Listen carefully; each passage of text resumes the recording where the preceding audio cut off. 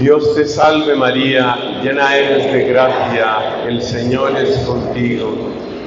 Bendita tú eres entre todas las mujeres, bendito es el fruto de tu vientre Jesús. Santa María, Madre de Dios, ruega por nosotros pecadores, ahora y en la hora de nuestra muerte. Amén. En nombre del Padre, del Hijo, del Espíritu Santo. Amén. Siéntense, por favor.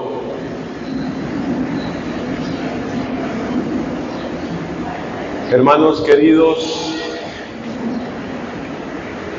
en un momento de persecución que vivió la primera comunidad cristiana allá en Jerusalén, empezaron a encarcelar a los apóstoles, empezando por Pedro y Juan.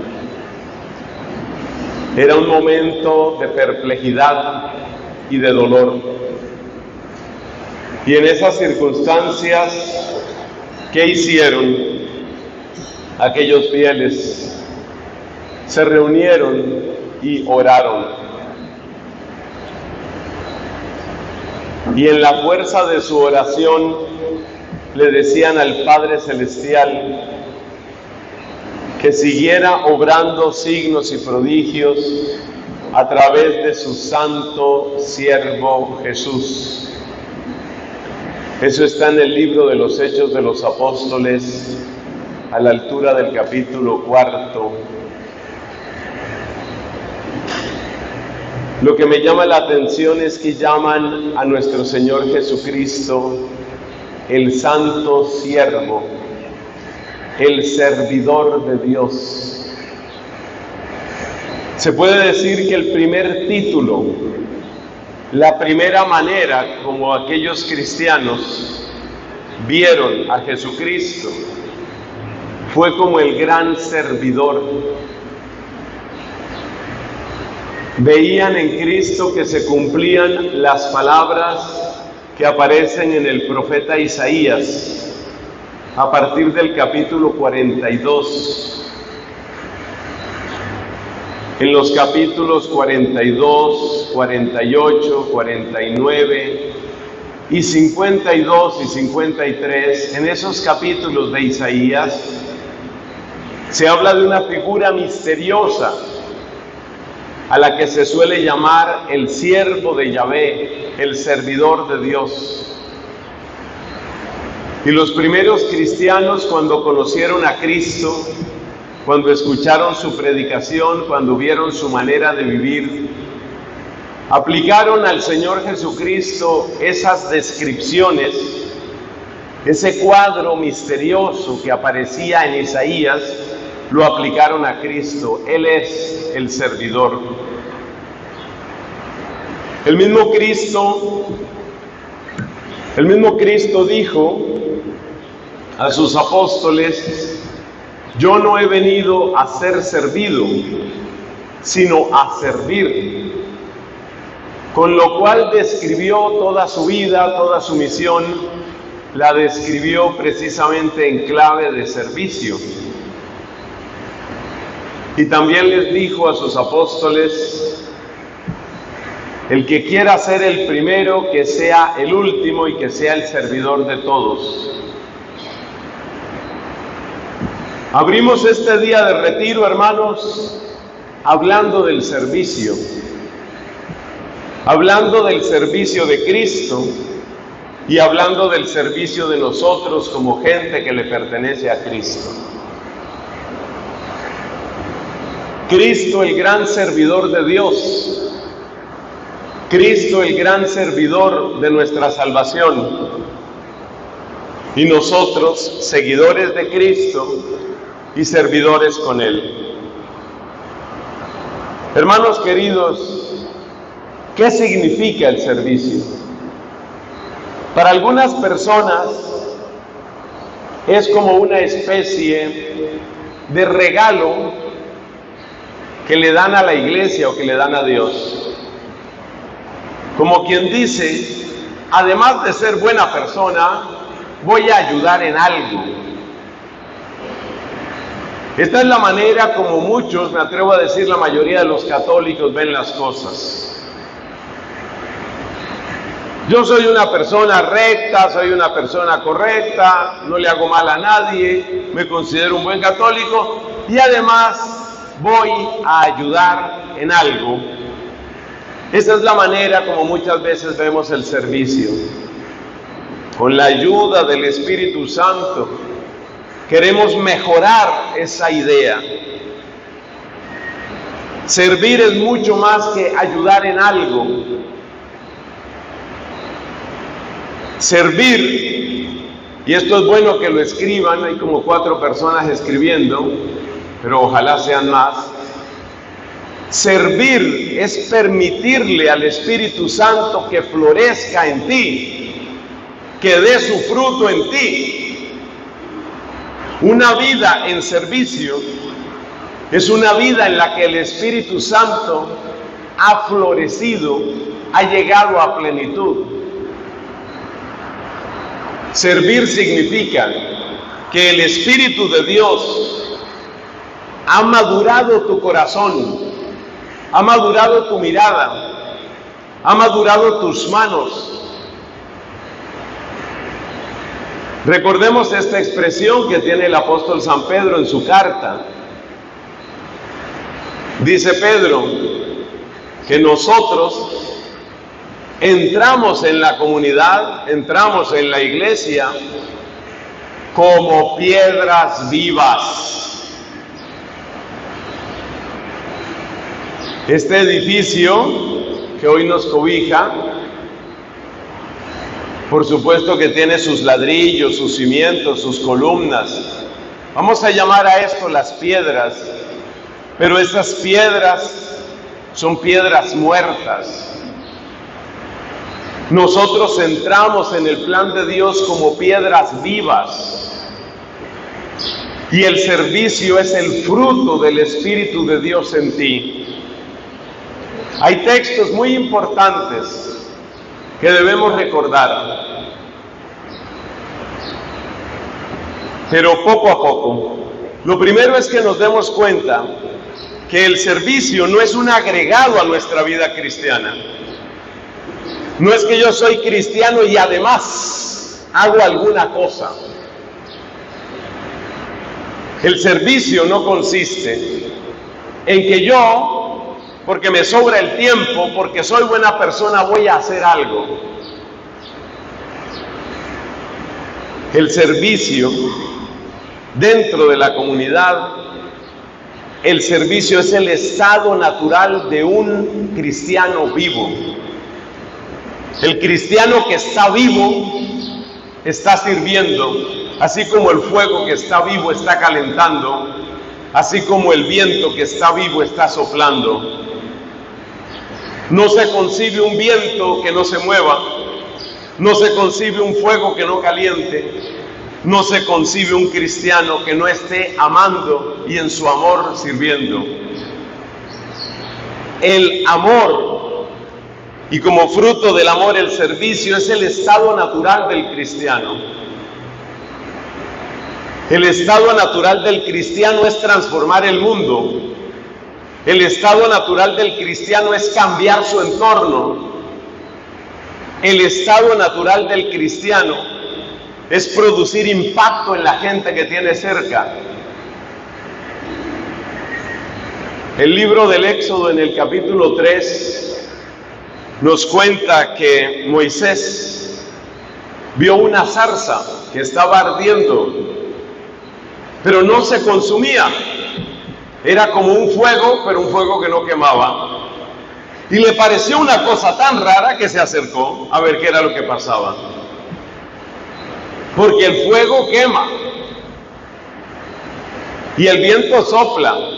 Y el cristiano ama. Y porque ama, sirve.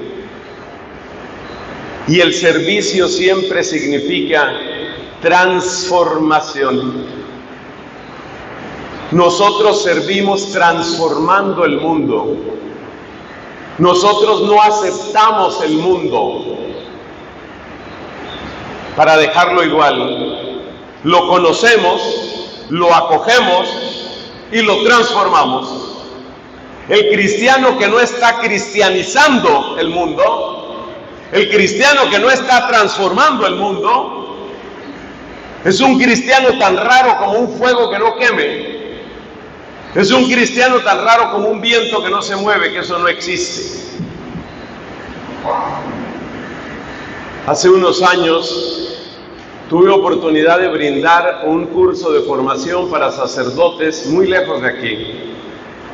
En la isla de Taiwán, en el sur de Taiwán estuve.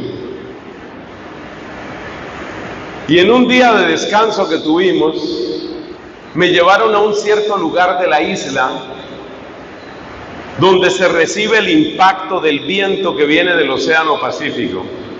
Era una colina, yo no sabía a qué me llevaban allí. Es un viento muy agradable y muy, muy fuerte y muy constante, como si hubiera un gigantesco ventilador que estuviera enviando un torrente de aire.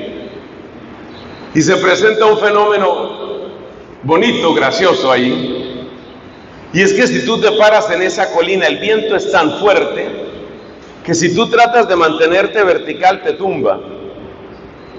Entonces tú tienes que inclinarte y la gente que llega ahí se inclina, no sé cuánto, ponle unos 30 grados, o sea, te toca pararte así para que el viento no te tumbe. Es una cosa muy graciosa en ese lugar de Taiwán. Yo pocas veces he experimentado un viento tan fuerte y tan constante. Entonces, como yo estaba en ese lugar con ese viento maravilloso y ese fenómeno natural que es muy gracioso, entonces yo saqué una botella. Saqué la botella y guardé un poquito de viento y la tapé. Para después llegar a mi habitación y tener ahí un poquito de viento de Taiwán. Por supuesto eso te da risa, yo no puedo meter el viento en una botella. En cuanto al viento yo pretendo embotellarlo, ya no es viento. En cuanto el cristiano deja de amar y servir, empezó a ser un traidor. Esto lo consideró tan importante ese gran santo de nuestra iglesia católica, San Ignacio de Loyola, que él puso como lema de su comunidad, es decir, de los jesuitas, en todo amar y servir. El cristiano que deja de amar y servir empezó a traicionar. Esa frase también te sirve si quieres escribirla. El cristiano que dejó de amar y servir empezó a traicionar. Es como el viento embotellado. El viento embotellado ya, ya no es viento. El cristiano que dejó de servir empezó a traicionar. Ahí termina la introducción de este primer tema ya nos vamos dando cuenta, y esta es la idea fundamental, que el servicio no es un agregado. El servicio es el estado natural del cristiano, porque el estado natural de un cristiano es transformar. Cuando los bacteriólogos y otros científicos, los farmacéuticos, están estudiando distintos medicamentos, una prueba que se hace es tener un cultivo, por ejemplo, un cultivo de un determinado virus o bacteria, y depositar un poquito del antibiótico que están probando. Para los que estén un poco familiarizados con la ciencia, ese cuadro es muy conocido. Se utiliza un disco que le llaman un disco de peltre y entonces ahí se pone un poquito del antibiótico dentro de un cultivo de bacterias o de virus o de lo que sea. ¿Y qué hace el antibiótico? El antibiótico crea, alrededor de él crea un círculo de acuerdo con la potencia que tenga el antibiótico. Si aquí tienes el plato ese que está con esa bacteria y tú pones aquí el antibiótico, alrededor del antibiótico se va formando un círculo más grande o menos grande de acuerdo con la potencia del antibiótico. Lo que te quiero decir es que el antibiótico vence y el antibiótico transforma. Hermanos, nosotros somos el antibiótico del mundo. Nosotros. Cristo no utilizó la palabra antibiótico, pero Cristo utilizó palabras que indican transformación. Dijo, ustedes son la sal de la tierra, ustedes son la luz del mundo. La luz cambia el entorno, lo que estaba a oscuras ya no está a oscuras porque llegó la luz. Lo que estaba insípido o lo que estaba en riesgo de corromperse ya no porque llegó la sal. Creo que si nuestro Señor Jesucristo hubiera conocido los antibióticos, hubiera dicho en algún versículo, ustedes son el antibiótico del mundo. Entonces nosotros, hermanos, no estamos llamados simplemente a quejarnos, porque la quejitis, la quejumbre, es algo muy frecuente en el pueblo católico. Qué fácil que nos resulta quejarnos, pero la queja transforma muy poco. Nosotros estamos llamados a crear espacios, espacios de sanidad, espacios de santidad, espacios de luz.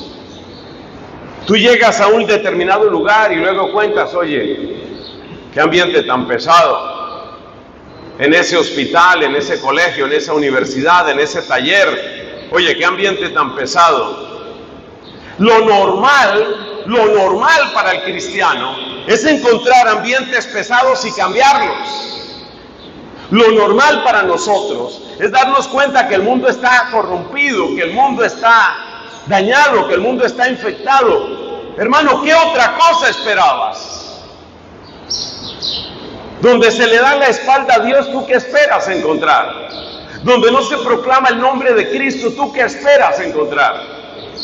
donde no hay oración, donde no hay presencia de la palabra de Dios, donde no se toma en serio el Evangelio, ¿qué esperas encontrar? Yo por lo menos solamente espero encontrar corrupción, traición, intriga, obscenidad, lujuria, envidia, traición. Eso es lo que yo espero encontrar. Entonces esta predicación sobre el servicio y la santidad es una invitación para que dejemos de quejarnos y empecemos a ser el antibiótico del mundo. La pregunta que tenemos que hacernos es, ¿cuál es el ámbito, cuál es el espacio de transformación? Ese es el primer servicio que tú estás llamado, que tú estás llamada a hacer. ¿Cuál es el espacio de transformación que yo estoy produciendo? ¿La gente está cambiando alrededor mío? si un bacteriólogo, si un científico, si un biólogo, cualquiera de estos que tienen que ver con la salud, utiliza una sustancia, un cierto antibiótico y lo pone dentro del plato ese donde están las bacterias, normalmente se utiliza un tipo de gelatina o alguna cosa para hacer el cultivo de la bacteria. Si ahí está el plato lleno de bacterias, usualmente son unos colores horribles, un ocre, un verde, un café, unos colores que no son bonitos, por supuesto está la bacteria pululando ahí, y se pone un antibiótico, y el antibiótico empieza a quejarse, oye, qué cantidad de bacteria por aquí. Si no cambias tu entorno, se murió, se murió, se congeló la novedad que tú traías, la fuerza que tú traías a mí me dicen que este señor, Mahatma Gandhi, decía, preguntaba alguna vez, cristianos, ¿qué han hecho ustedes con su alegría? Él preguntaba por la alegría, pero la pregunta se puede hacer de muchas maneras. ¿Qué han hecho ustedes con el amor? ¿Qué han hecho ustedes? ¿Qué han hecho ustedes con la bendición? Tú recuerdas que hay una parábola, que es la parábola de los talentos. Si te acuerdas que hubo uno que escondió el talento, lo enterró. Y te puedo asegurar que ese fue el que más se quejó. Recuerda, haz memoria la parábola de los talentos.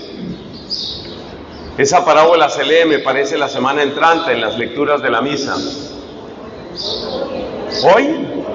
Sí, yo vivo perdido en las fechas. Gracias por recordarme. Como vivo grabando homilías de otros días, no sé en qué días. lo único que sé es que hoy es martes, de resto no tengo nada más claro. Ah, sábado, sábado es.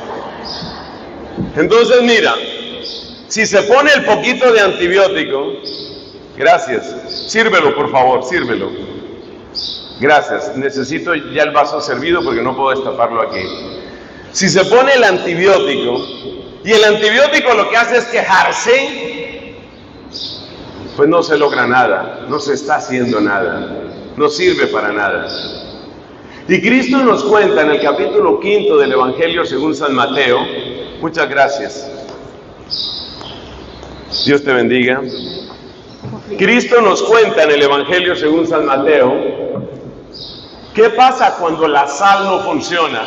Solo que yo estoy actualizándolo a los antibióticos. Dice él, esa sal que no sala, solo sirve para que la arrojen fuera y la pisotee la gente. Y eso es lo que está pasando muchas veces con nuestra iglesia católica. Si nosotros no estamos cambiando el mundo, el mundo se está burlando de nosotros. Si nosotros no estamos cambiando el mundo, somos el ridículo del mundo. Si nosotros, en vez de ser testigos de la luz, estamos infectados de tinieblas, somos el ridículo del mundo y solo servimos para ser despreciados. Entonces, la primera parte de esta enseñanza, ¿cuál es? que servir no es un adorno, que servir es nuestra naturaleza y que el que no está transformando al mundo está traicionando su fe. Por eso tienes que preguntarte, ¿cuál es la transformación que yo llevo a donde yo llego? Uy, qué pregunta tan buena. ¿Cuál es la transformación que yo llevo a donde yo llego?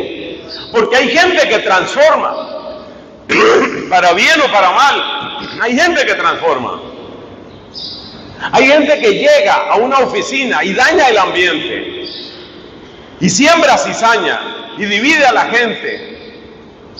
Hay gente que llega a una oficina y entonces impone un régimen de corrupción, de obscenidad.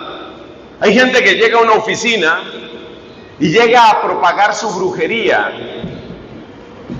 me parece tan, tan terrible. Me contaba una amiga mía, una joven profesional, que llegó a trabajar en un bufete de abogados, aunque ella no estudió derecho, ella tiene otra profesión. Y una de sus compañeras practica la brujería. Así, tal cual, brujería. Y esta muchacha, esta bruja, uno de, de los rituales que tiene es un ritual con un diente de ajo. Y el diente de ajo se supone que es para saber quién te cae bien, quién te cae mal, cómo está haciendo. Y ella medio en juego, medio, medio en serio, a hacerle el ritual del ajo a todas las compañeras en la oficina. O sea que esa vieja bruja llega allá y no tiene miedo de hablar de su brujería. Ella llega allá y quiere infectar a todas y a todos, porque hay hombres también, a todas y a todos. Entonces lo que yo pregunto es qué pasa con el cristiano. ¿Por qué la, por qué la bruja que llega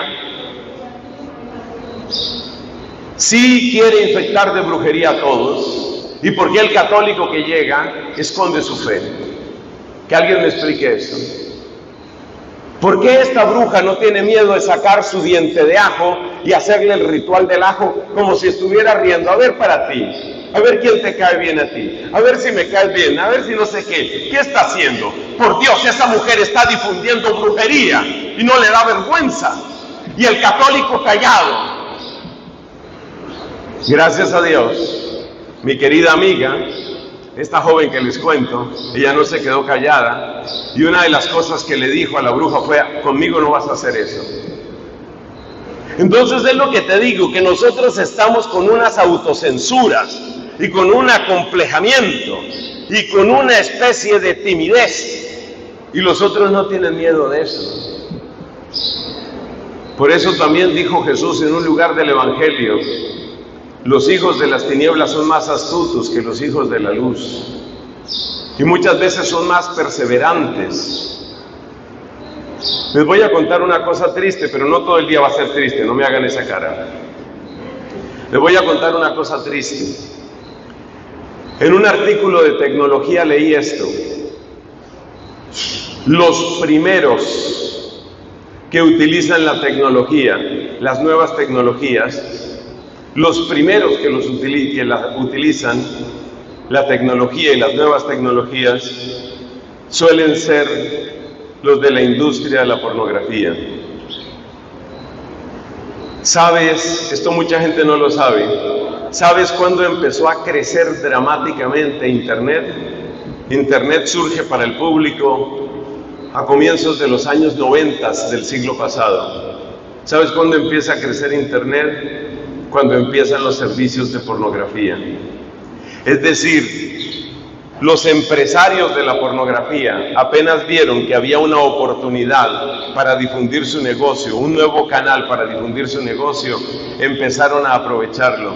Y un estudio de hace unos meses decía que cerca de una tercera parte de todo el contenido que circula en Internet es pornografía, una tercera parte.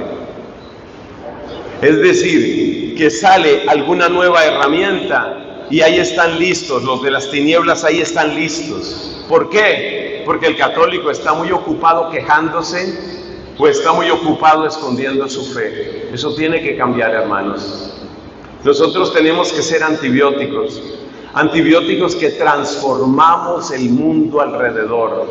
Y tú hazte una pregunta, ¿a quiénes estoy transformando a mi alrededor? Porque si tú no estás cambiando al mundo, el mundo te está cambiando a ti. Esa frase escribe la que te conviene. Si tú no estás cambiando al mundo, el mundo te está cambiando a ti. Yo lo he verificado muchísimas veces. ¿Cuántas veces? Especialmente me pasa con los jóvenes. Yo tengo un amor especial por la juventud lo cual no significa que siempre caiga bien ni siempre logre llegar a los corazones de los jóvenes, pero los amo entrañablemente en Cristo y me da mucho dolor lo que sucede con muchos jóvenes, mucho dolor. ¿A qué me refiero concretamente? Me refiero a esos jóvenes que uno conoce en los grupos de oración, esos jóvenes que uno conoce que cantaban en la iglesia, que predicaban y de repente entran a una universidad, se van a hacer un posgrado, hacen un curso en Brasil, estudian seis meses de inglés en Estados Unidos y después de seis meses en Estados Unidos vuelven hablando un poco trabado y ya se les olvidó el español. Pero lo importante no es que se les olvidó el español, se les olvidaron sus raíces, se les olvidó su fe, se les olvidó Cristo. Es decir, ¿cuál es la capacidad tuya de transformar lo que te rodea? ¿Por qué tienes que ser siempre el perdedor? ¿Por qué el católico tiene que ser el perdedor?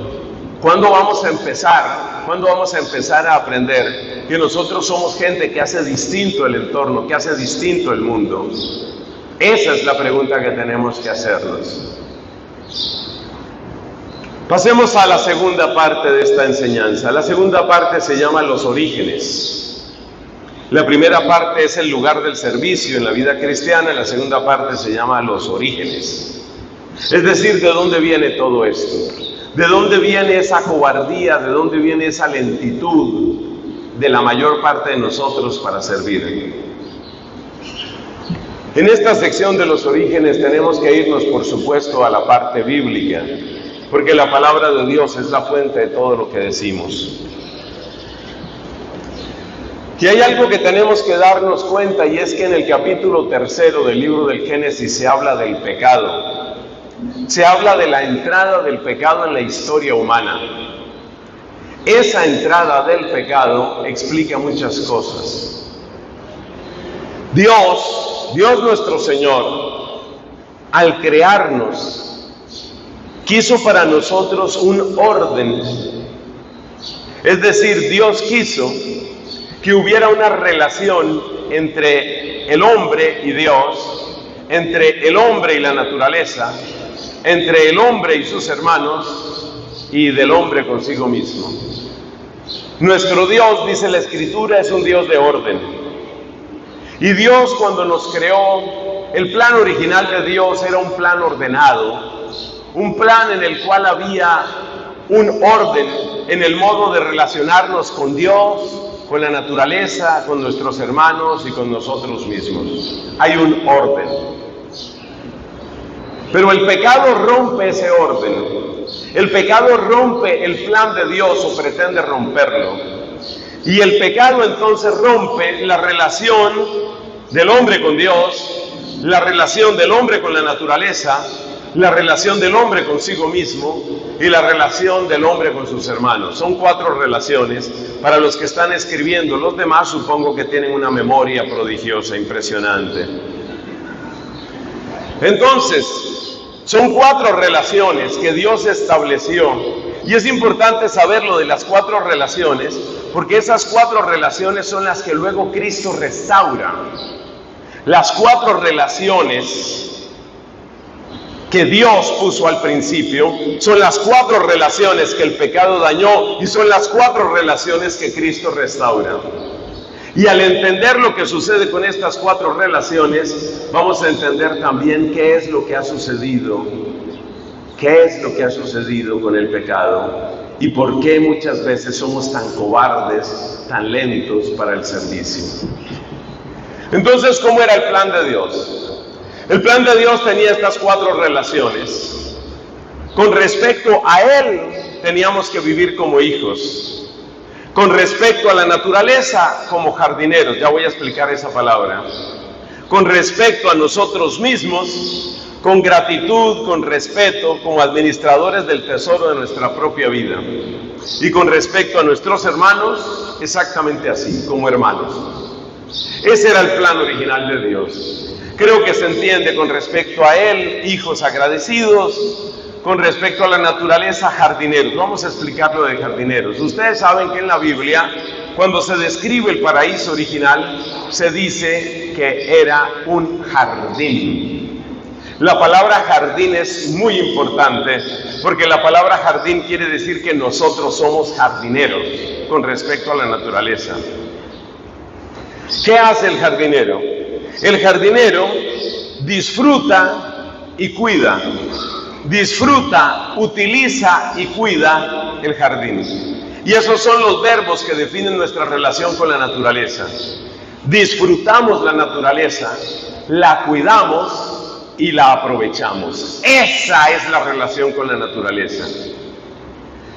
Cuando llega el pecado, en vez de limitarnos a disfrutar, idolatramos la naturaleza, por ejemplo, con la Pachamama. En vez de utilizar la naturaleza, sobreexplotamos la naturaleza hasta destruirla. Y ese es el daño ecológico que ha denunciado el Papa Francisco. En vez de cuidar la naturaleza, simplemente la usamos hasta destruirla. Entonces, los desórdenes del ser humano con respecto a la naturaleza se sintetizan en dos. Algunos caen en idolatría, es decir, tratan como fuerzas sobrenaturales las características y las leyes de la naturaleza. Y entonces ahí entra el animismo, ahí entra, por supuesto, toda forma de idolatría, ahí entra el panteísmo, ahí entra todo eso. Esa es idolatría de la naturaleza. Ese es un extremo. El otro extremo es el uso irresponsable, la sobreexplotación de la naturaleza. Pero la Biblia no quiere ni que nosotros idolatremos la naturaleza estilo Pachamama, ni que nosotros sobreexplotemos la naturaleza como se ha hecho en tantos lugares de este planeta, por ejemplo, en grandes zonas de la Amazonía. La Biblia no quiere ni la idolatría ni la sobreexplotación. En medio de esos dos extremos, la Biblia nos habla de un equilibrio muy bello que se llama jardín y que se llama jardinero. Nosotros estamos llamados a ser jardineros de la creación. Eso es lo que nosotros tenemos que ser. Jardineros que cuidan, jardineros que disfrutan, jardineros que utilizan razonable y sabiamente los bienes de la naturaleza. Entonces la relación con Dios era relación de hijos agradecidos y obedientes. La relación con la naturaleza era relación de jardineros. La relación con nosotros mismos es la de aquellos que administran el tesoro incomparable de la propia vida en cuerpo y alma. Cuidar nuestro cuerpo sin idolatrarlo, pero sobre todo cuidar nuestro corazón Dice la escritura, ante todas las cosas cuida tu corazón porque en él están las fuentes de la vida. Protege tu corazón. Y con respecto a nuestros hermanos, Pues la palabra lo dice, la relación que debíamos tener era una relación de hermanos. Pero cuando llega el pecado todo se daña. El pecado daña esas cuatro relaciones. Acuérdate, las relaciones son con Dios, con la naturaleza, con uno mismo y con los demás, con el prójimo. El pecado daña eso. ¿Por qué? Porque el pecado hace que yo empiece a mirar a Dios como un tirano envidioso. Fíjate lo que le dice la serpiente a Eva, calumniando. Es verdad que Dios les prohibió comer de todos los árboles del jardín. Esa expresión de la serpiente, que ya es una calumnia, tiene un propósito y es que Eva, y por supuesto Adán, que estaba al lado de Eva y que no sirvió para nada, tipo inservible, un inútil, un pedazo inútil que estaba al lado de Eva, no hizo lo que tenía que hacer que era proteger a su esposa, amarla, defenderla, no hizo nada, estaba ahí parado como un tonto. Mejor dicho, no me hagan hablar más de Adán.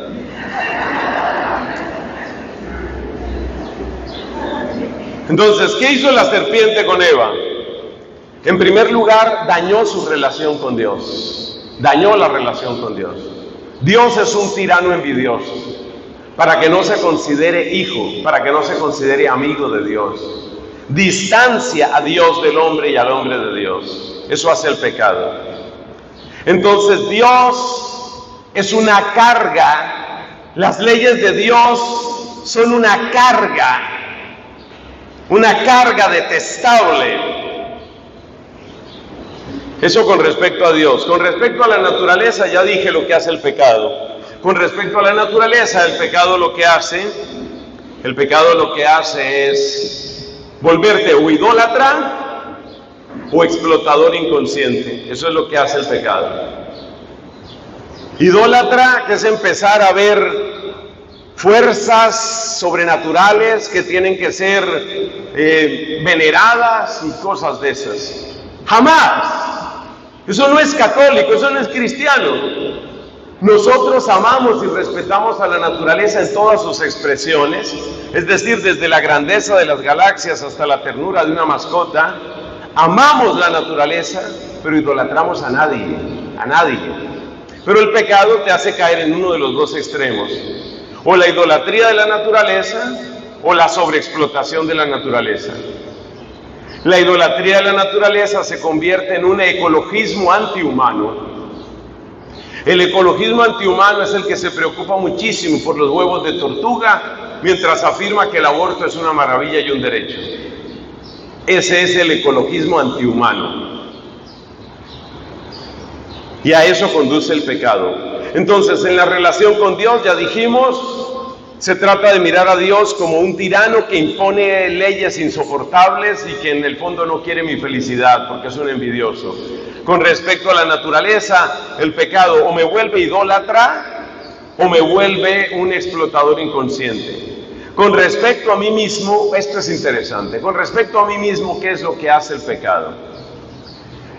Lo que hace el pecado, que es la comparación que siempre doy cuando hablo de este tema, lo que hace el pecado es lo mismo que sucede con esos alambres que muchos hemos conocido en nuestros colegios, escuelas, instituciones.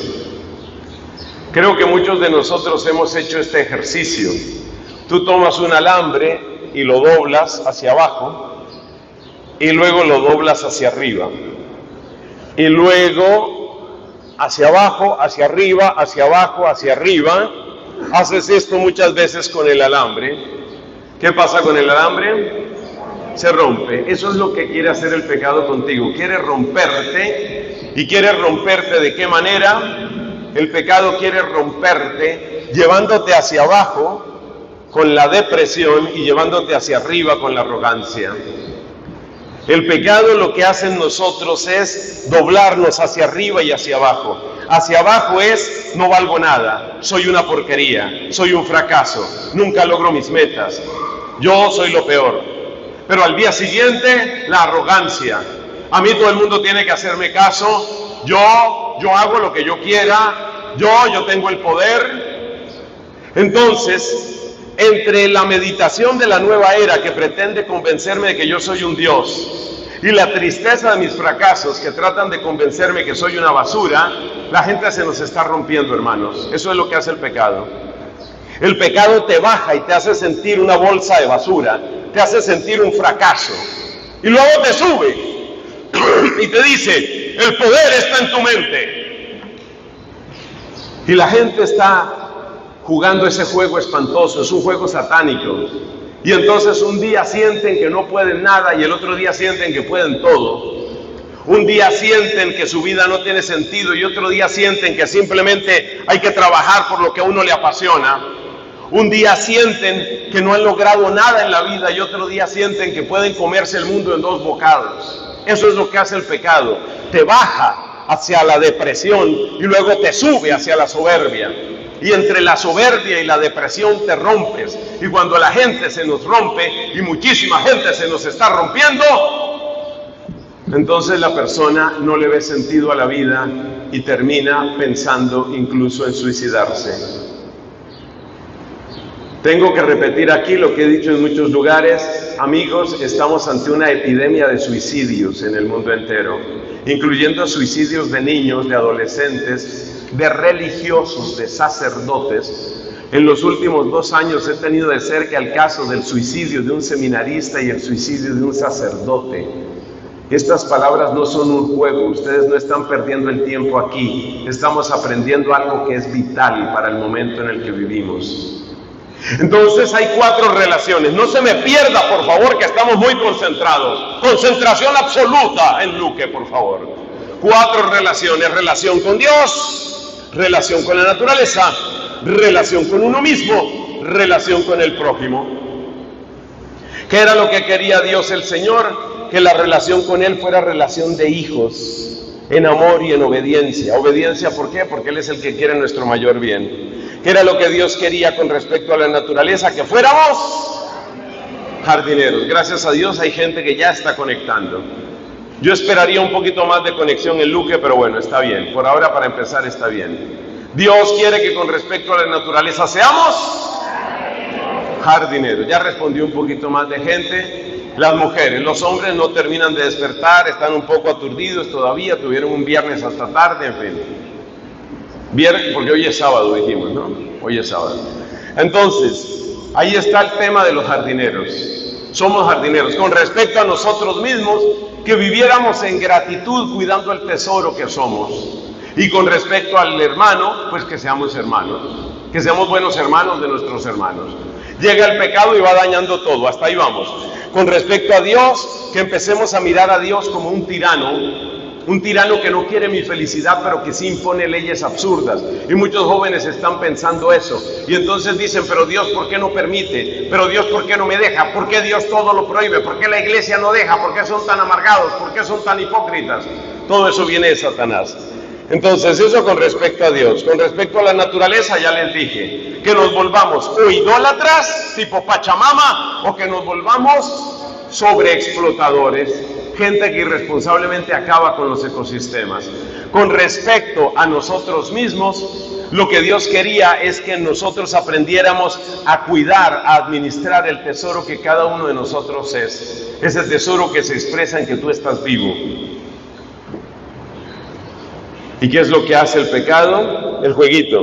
No se te olvide el jueguito. El jueguito es que un día sientes que eres una basura y al otro día sientes que lo puedes todo. Y ese es el juego que pretende hacer el mundo con nosotros. Y por eso mucha gente se siente muy mal. Ahora, cada uno trata de resolver esa ruptura en el mundo, cada uno trata de resolverla de alguna manera. Por ejemplo, la droga. Nosotros tenemos la tristeza en nuestro país de un presidente, nuestro presidente actual no hace sino hacerle propaganda a la droga. Ellos tienen razones políticas para difundir la droga. Ellos tienen razones políticas. Pero la gente, el usuario de la droga, lo que está tratando es de solucionar este problema. Se siente mal y entonces se droga y se siente súper, se le pasa el efecto y se siente mal, entonces se droga y se siente súper mal, súper mal, súper mal, súper mal, súper, se reventó. Ese es el plan, ese es el plan del pecado que un día te sientas lo peor y que otro día sientas que lo puedes todo. Que un día te eches en una cama y digas no valgo nada, aquí me voy a morir, nadie me mire, nadie me hable, y al otro día digas que nadie me diga lo que yo tengo que hacer. O sea, estoy en lo peor, pero que nadie me diga lo que tengo que hacer. Ese es el ideal del diablo para destruir la vida humana. Que estés mal, pero que no aceptes ninguna palabra. Que te blindes contra la palabra. Bueno, y con respecto a los hermanos, ¿qué es lo que Dios quería con respecto al prójimo? Con respecto al prójimo, Dios quiere que nosotros seamos hermanos de nuestros hermanos. Pero ¿qué sucede? ¿Qué es lo que hace el pecado? El pecado convierte al prójimo en una herramienta, en un juguete o en un adversario. Me alegra que algunas personas se les movió la conciencia, están escribiendo en el celular, están escribiendo en sus libreticas. Eso está bien. El pecado quiere que tú empieces a mirar a tu prójimo con una de estas tres palabras. Es una herramienta para mis intereses. Es un juguete para mis placeres. O es un adversario que tengo que vencer, que tengo que eliminar. Ese es el desorden que el pecado trae en la cuarta relación. Cuatro relaciones. Relación con Dios, con la naturaleza, conmigo mismo, con el prójimo. La cuarta relación es con el prójimo. ¿Y qué quiere hacer el pecado con respecto al prójimo? Que yo empiece a mirar al otro ser humano como una herramienta. Este lo puedo utilizar o como un juguete, este lo puedo disfrutar, o como un adversario, a este lo tengo que vencer y aplastar. Eso es lo que quiere el pecado. Por eso está dañándose en tantos lugares el ambiente laboral, porque muchos empleadores ven a sus empleados como herramientas y entonces intentan exprimirlos cada vez más en mi país, no conozco mucho del Paraguay, pero en mi país la situación laboral está llegando a unos extremos absurdos.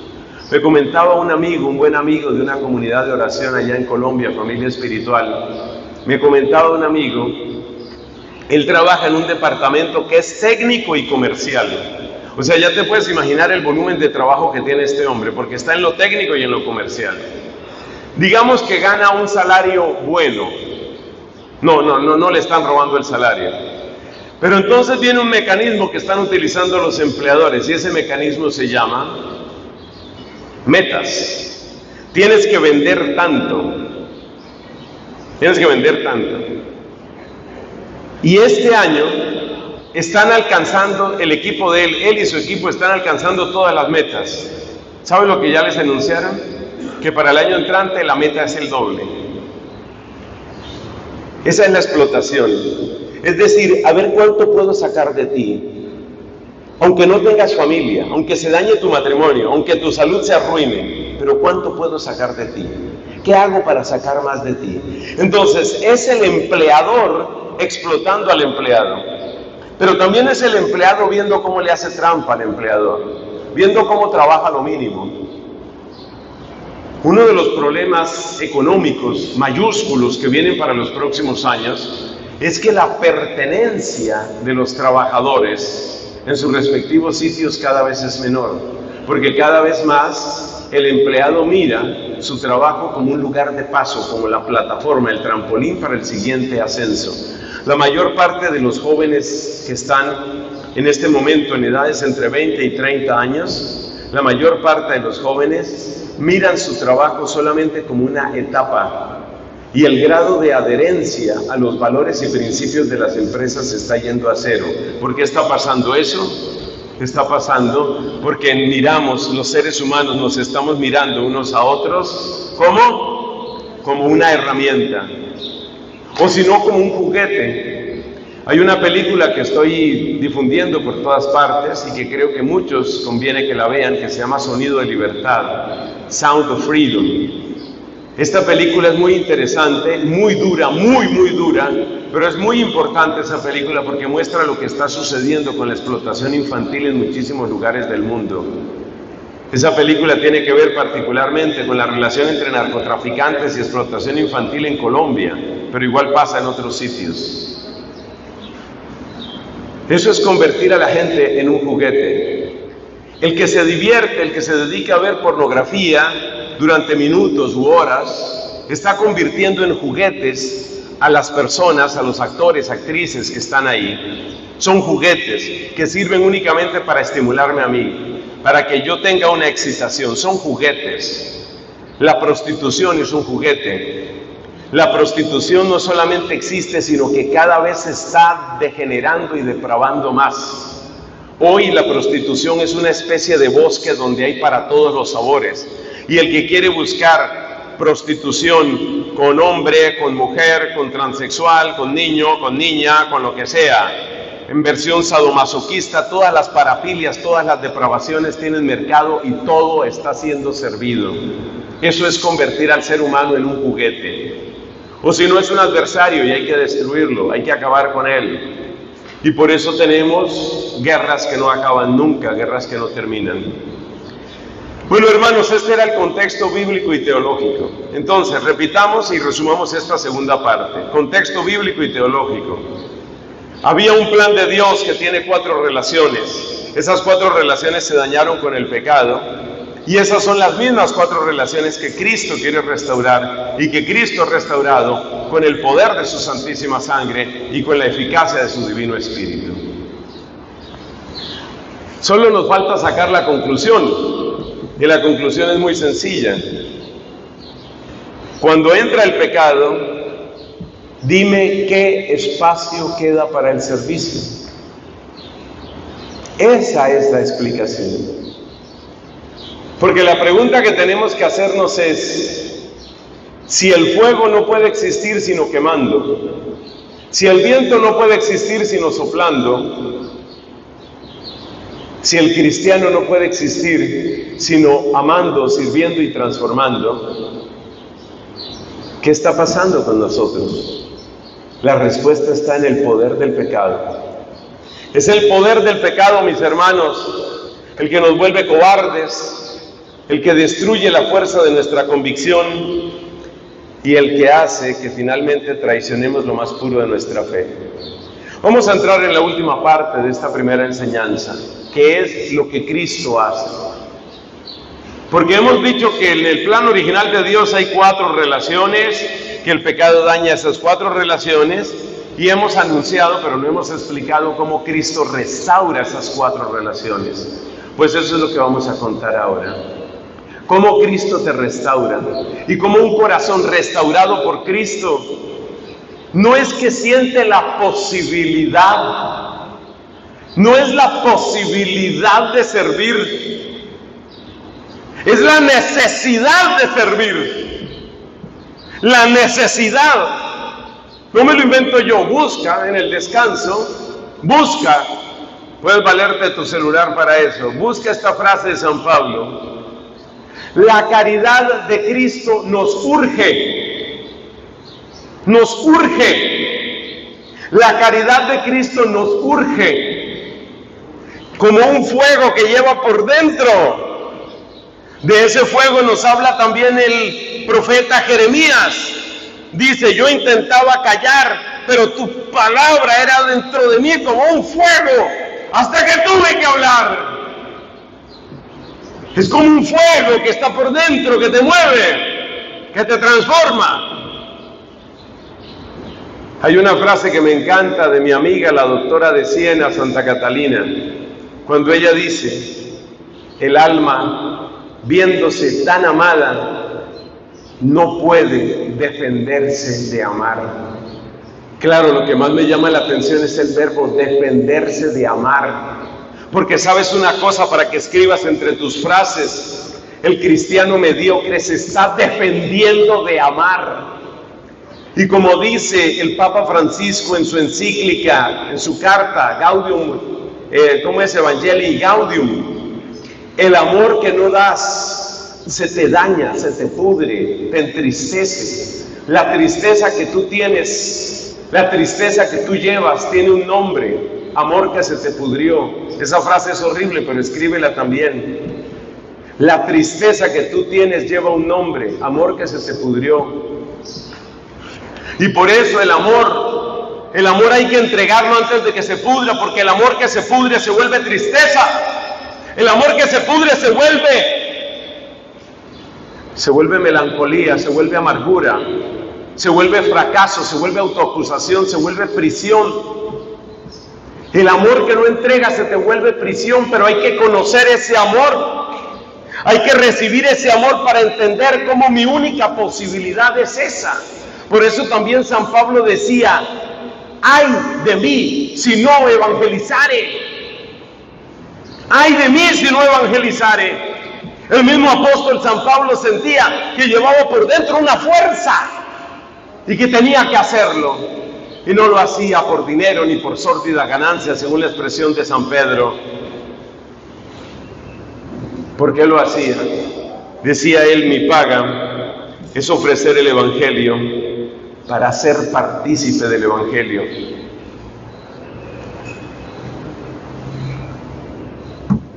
Analiza esa frase. Vamos a analizarla un poquito. Mi paga es servir el Evangelio para ser partícipe del Evangelio. Esa frase uno cree que la entiende y no la entiende. Repito, mi paga es servir el Evangelio, ofrecer el Evangelio, dar el Evangelio para ser partícipe del Evangelio. ¿Sabes lo que eso significa? Es lo mismo que el fuego.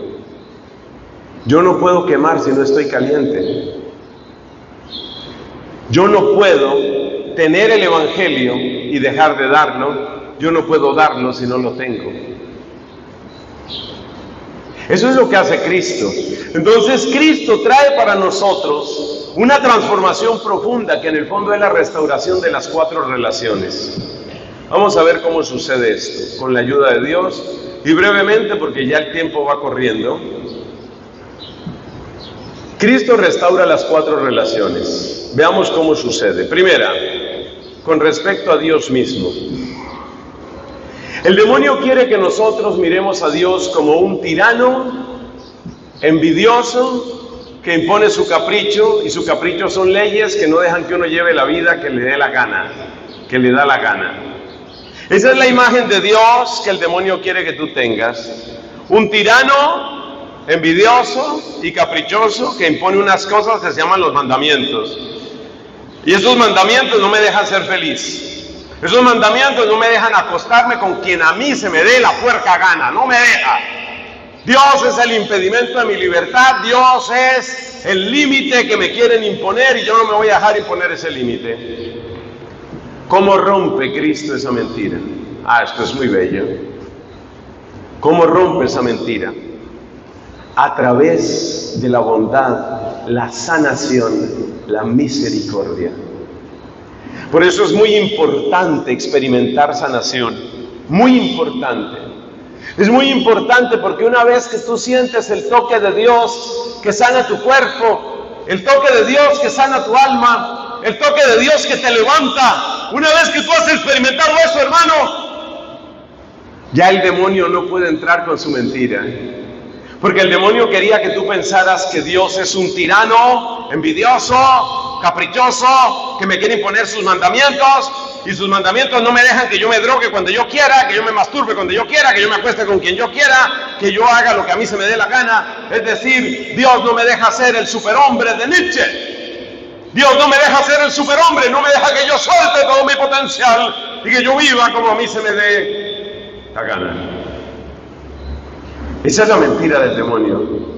Pero cuando llega la mansedumbre, la humildad y sobre todo la caridad, la misericordia de Cristo, cuando tienes experiencia del amor de Cristo, es como si quedaras blindado. Ya las calumnias, ya las blasfemias de Satanás no logran entrar en tu pecho porque tu pecho ha sido poseído por el amor de Cristo. Entonces esa primera mentira cae y empieza a restaurarse tu relación con Dios. Y cuando empieza a restaurarse esa relación, entonces tú empiezas a mirar a Dios con gratitud y con amor. Y un día sueltas la palabra más dulce, la palabra más bella y le dices, Abba, y le dices, papá, y le dices, Padre amado.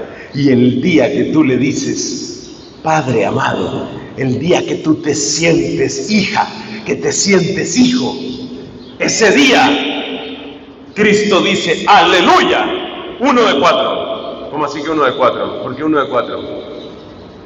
¿Por qué uno de cuatro? Porque son cuatro relaciones. Por favor, conectar. Necesito la gente despierta. Claro, ya está restaurada la primera relación. Cuando tú sientes la mansedumbre, la bondad, la ternura de Cristo, cuando tu pecho se inflama de gratitud, cuando tú dices, cuánto amor, cuánto amor.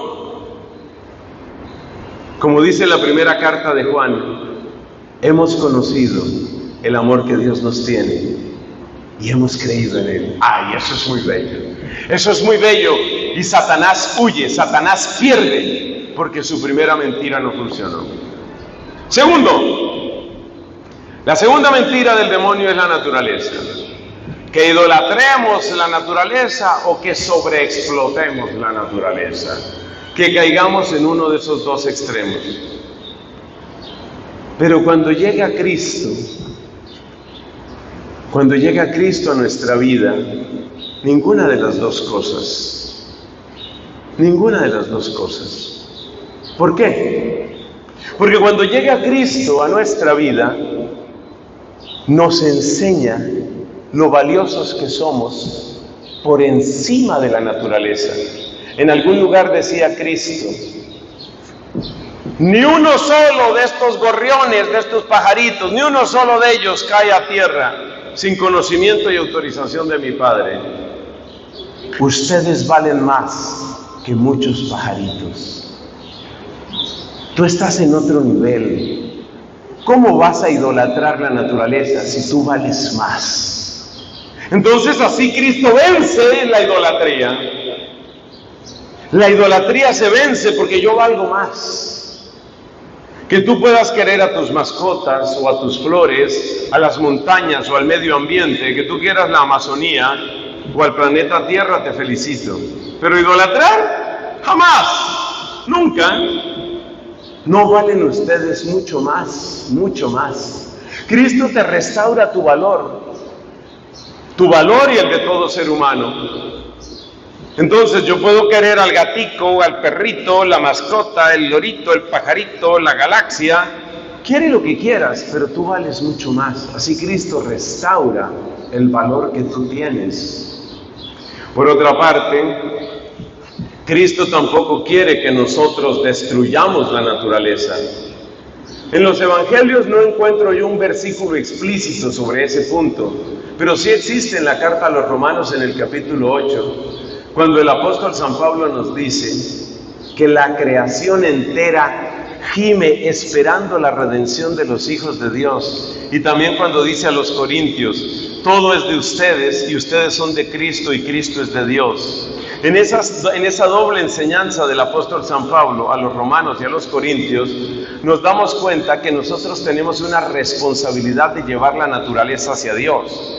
Entonces nosotros no tenemos derecho de destruir la naturaleza. Así que Cristo restaura la relación con la naturaleza. Hay otros pasajes del Nuevo Testamento que igualmente nos ayudan. Así, por ejemplo, en el capítulo primero de la carta a los colosenses leemos, todo fue hecho por Él y para Él. Esa expresión no nos deja dudas. Hay un destino de la naturaleza que finalmente conduce hacia la gloria del Padre en su Hijo Jesucristo. Cristo restaura el orden en la relación que cada uno de nosotros debe tener consigo mismo. Dijimos que la estrategia del diablo consiste en bajarte y subirte, bajarte y subirte, bajarte y subirte. Te baja haciéndote sentir que eres una basura y te sube haciéndote creer que eres el emperador del universo. Entre la depresión y la arrogancia, pues Cristo sana de ambas cosas. Hay tantos pasajes, especialmente los pasajes de curación en el Evangelio, tantos pasajes que nos muestran que Cristo le hace sentir a la persona que no es una basura. Pero de todos los pasajes voy a mencionar mi favorito, que está al comienzo del Evangelio de Marcos, cuando un leproso le dice al Señor, si quieres, puedes limpiarme. La lepra era la peor enfermedad en aquel tiempo, no solamente porque se comía y destruía tu carne, sino porque te apartaba de toda relación social. Pero lo hermoso es que Cristo le responde a ese hombre y le dice, quiero, queda limpio, y lo tocó. Tú te crees basura, tú te crees muerte, tú te crees exclusión. Aquí estoy yo para darte una mano. Cristo no permite que nadie se sienta un saco de basura, nadie. Todos somos preciosos ante Él. Eso lo logra Cristo. Pero Cristo tampoco permite que se nos suba la soberbia. Y ahí también tenemos muchos pasajes del Evangelio. Mi preferido es cuando Él dice, si ustedes que son malos saben darle cosas buenas a sus hijos. Y lo que me llama la atención sobre todo es como dice, si ustedes que son malos, ustedes no se creen gente buena, ustedes son gente mala porque ustedes son egoístas y son rebeldes y son envidiosos y toda la carga de pecados que todos tenemos. Pero lo que me llama la atención es que Cristo dice eso, si ustedes que son malos, ahí está Cristo diciendo, señalando el pecado, y también para acabar nuestra arrogancia tenemos ese pasaje de Mateo capítulo 19, cuando los apóstoles le dicen, Jesús, pero entonces ¿quién puede salvarse? Y Cristo se les queda mirando y les dice, para el hombre es imposible, pero Dios todo lo puede. Para el hombre es imposible. Y son tantos pasajes, otro donde dice, ¿de qué le sirve al hombre ganar el mundo entero si pierde su alma? que como yo me equivoco en las fechas, no sé, pero me parece que es el Evangelio del domingo, me parece. Ahora ya no estoy seguro casi de nada de mis fechas. Entonces, hermanos, Cristo nos sana. No eres un saco de soberbia, perdón, no eres un saco de basura, pero tampoco tienes motivo de soberbia. O sea, Cristo nos devuelve al tamaño, al tamaño real nuestro. Eres valioso, pero sé humilde. Aprended de mí que soy manso y humilde de corazón. Tú eres valioso, tú vales mucho, pero no te creas, no te creas el rey del universo y sobre todo no le quites el reinado a Dios. De esa manera Cristo restaura nuestra relación con nosotros mismos. Nos falta la última, que es la que conecta con el tema del servicio. Dijimos que el demonio quiere que tú mires a tu prójimo con una de estas tres palabras. ¿Será que se acuerdan, Dios mío? Por favor, ilumina al pueblo de Luque. Señor, que yo no me lleve una decepción de este lugar, que yo no salga triste y derrotado de este salón. Dios mío, que no vaya a suceder eso. ¿Cuáles son las tres mentiras? Que el, el demonio quiere que yo mire a mi prójimo como qué? Como una herramienta, como un juguete, o como un adversario. Bendito sea Dios, que Dios bendiga a Luque. Ahora sí. Claro. Eso es así. Cristo acaba con esa mentira. Acaba con esa mentira. El prójimo no es una herramienta. No es una herramienta. Ni es un juguete, ni es un adversario. Muchas mujeres eran vistas en aquel tiempo como juguetes del placer de los hombres. La ley de Moisés castigaba que la mujer fuera pillada en adulterio. Pero si uno mira qué debía pasar con el hombre que estaba adulterando con ella, no estaba claro qué iba a pasar con el hombre. La mujer era usada yo creo que hay un pasaje impresionante que junta lo de herramienta y juguete. ¿Recuerdas cuando una pecadora, está Cristo cenando en casa de un fariseo y una pecadora se acerca, llora, besa los pies de Cristo? Esa mujer que era una pecadora pública, seguramente una prostituta, ¿qué es una prostituta? Pues una herramienta y un juguete. Esa mujer recibe todo el respeto de Cristo hasta el punto de que Cristo la declara como referencia y como modelo para los que están ahí. Y le dice al que lo había invitado, cuando yo entré a tu casa, no me lavaste los pies, cuando yo entré a tu casa no me diste el beso de paz. Mira que esta mujer ha lavado mis pies con sus lágrimas y esta mujer ha colmado mis besos de pies, ha colmado mis pies de besos.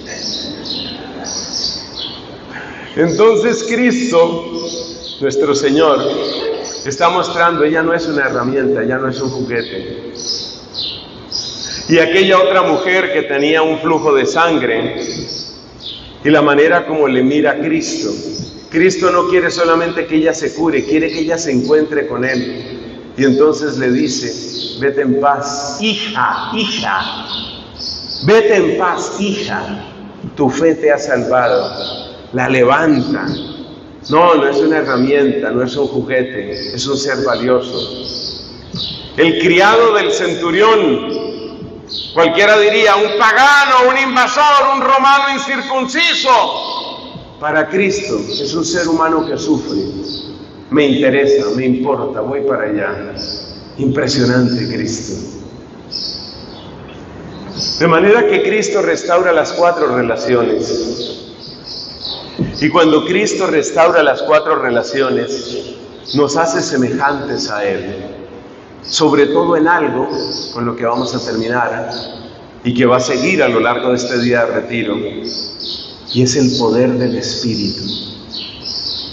Porque tengamos clara una cosa, el mismo Espíritu Santo que obró en Cristo es el mismo Espíritu Santo que obra en ti y en todo cristiano en todo cristiano que viva su fe, el poder del Espíritu. Y es ese Espíritu de Cristo. El evangelista San Lucas nos dice, me parece que en el capítulo sexto, el Espíritu, no, no es en el sexto, empujaba a Cristo a hacer milagros. El motor se llama el Espíritu, el motor es el Espíritu. Y es el poder del Espíritu, mis hermanos. Es el poder del Espíritu el que hace las maravillas. Es el poder del Espíritu el que hace que yo descubra que servir no es un adorno. Es el poder del Espíritu el que me convence. Desde hoy voy a dejar de quejarme del mundo y voy a empezar a transformar el mundo. Desde hoy. Desde hoy, con la fuerza del Espíritu, voy a dejar de quejarme del mundo y voy a empezar a transformar el mundo.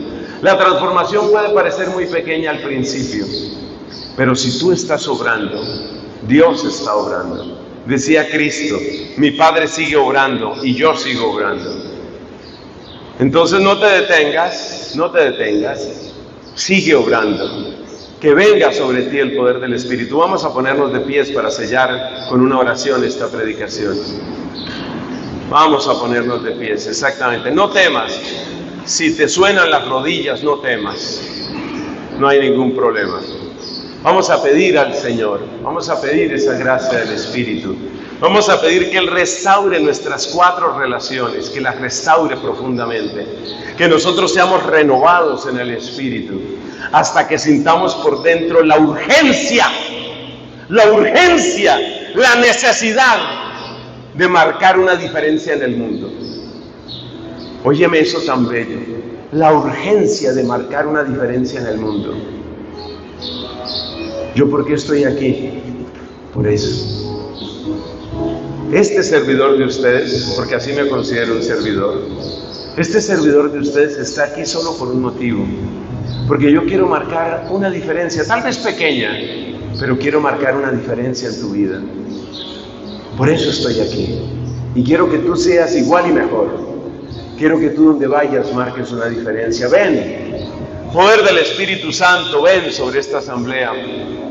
Poder del amor de Cristo, ven sobre esta asamblea. Sangre preciosa de nuestro Salvador, ven sobre esta asamblea. Restaura en nosotros la relación con Dios. Danos el equilibrio y la sabiduría para relacionarnos con la naturaleza. Danos, Señor, la sabiduría, la sensatez para cuidar de nuestra propia vida, nuestro cuerpo y nuestra alma y nuestro corazón. Y enséñanos a mirar a nuestros hermanos, a mirarlos con compasión, a mirarlos con misericordia, a mirarlos con verdad. En este momento, mi hermano, quiero invitarte a que tú pienses en la gente que tienes más cerca, más cerca en tu universidad, más cerca en tu trabajo, más cerca en tu vecindario, más cerca en tu familia. Piensa en los que tienes cerca y hazte esta pregunta. ¿Quién está recibiendo de Cristo a través de mí? ¿Quién está recibiendo de Cristo a través de mí? Esa es la pregunta. ¿Quién está recibiendo de Cristo a través de mí? ¿Qué pasa? ¿Qué pasa? ¿Dónde está el bloqueo? Tiene que romperse ese bloqueo, tiene que fluir el poder del Espíritu. Porque no seremos santos sino transformando el mundo. Porque no seremos verdaderos cristianos sino siendo los antibióticos de esta tierra. La gloria para ti Jesús. La gloria y la alabanza para ti llega con poder, especialmente a los corazones que estén más decaídos o más endurecidos. Llega con poder, Señor Jesucristo, y haz tu obra preciosa. Haz tu obra de amor en este lugar. Haz, Señor, que nosotros nos levantemos con fuerza para proclamar que tú eres rey, para proclamar que creer en ti hace una diferencia, para hacer distinto, hacer distinto el mundo donde estamos. Porque si no estamos cambiando el mundo, es que el mundo nos está cambiando a nosotros. Ven con poder, Señor. Ven con el poder de tu Espíritu. Haz tu obra en este lugar. Te alabo y te bendigo, Señor. Te alabo y te bendigo por este momento. Te alabo y te bendigo por este retiro. Y reclamo para esta asamblea las inmensas promesas que están en la Sagrada Escritura. Gloria y alabanza a ti, Señor. Gloria y alabanza a tu nombre. Bendito seas, bendito seas. Transforma corazones. Infunde en nosotros la alegría y la urgencia. La alegría y la urgencia de llevar la buena noticia. Así como María, recibiendo la buena noticia del ángel, nos dice la escritura, se puso en camino con prisa, con prisa, con urgencia para servir, para servir a Isabel la gloria, la gloria para Dios. Amén, amén, amén. Dale un aplauso a Jesús.